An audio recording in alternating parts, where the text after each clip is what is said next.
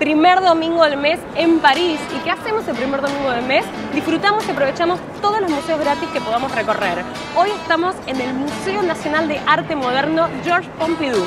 Este museo es uno de los edificios más emblemáticos de la ciudad, aclamado por muchísimos y también odiado por algunos por este, esta arquitectura moderna, revolucionaria que tiene. Acompáñenme, vamos a recorrerlo juntos.